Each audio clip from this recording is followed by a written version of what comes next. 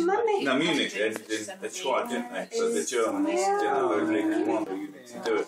They tried, didn't they? And they got in the blood. Yeah, but did they carry on with the band? Miss or they- Baby. Oh,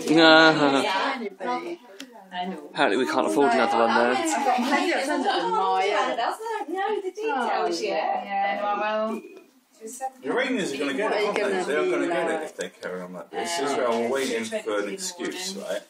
They're going to get it big time, aren't they? How do you feel about the Zambi? Not everyone's looking at you. She'd only lost Oh.